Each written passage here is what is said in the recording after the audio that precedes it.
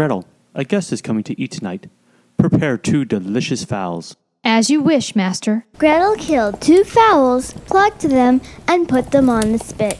Soon they started to brown. Master, if the guest doesn't come, then I shall have to take the chickens off of the spit. It would be rather shameful if they aren't eaten at the right time. I will fetch him. While her master was away, Gretel kept cooking the chickens. Soon she got quite thirsty from standing near the fire. She ran to the cellar to get some wine.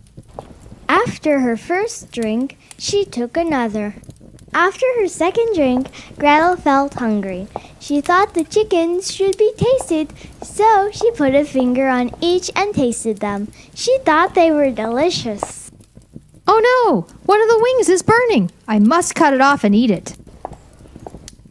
When she ate it, she realized something.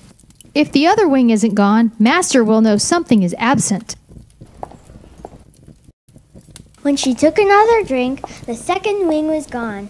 Her master wasn't back yet.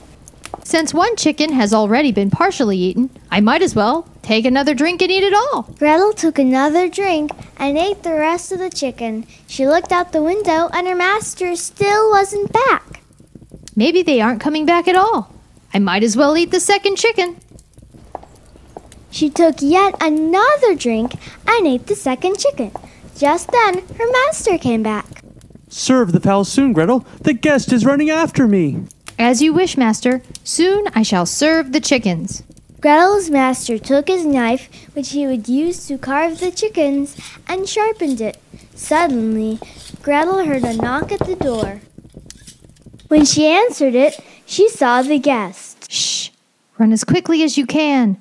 Although master did invite you to dinner, he really wants to chop your ears off. When the guest heard this, he immediately ran away. Gretel ran to her master. You invited quite a guest, master. What do you mean, Gretel? He has taken the two chickens I made for dinner. What a trick! As soon as this was heard, Gretel's master ran after the guest. Just one! The guest thought her master wanted to cut off one of his ears, so he ran like his skin was on fire.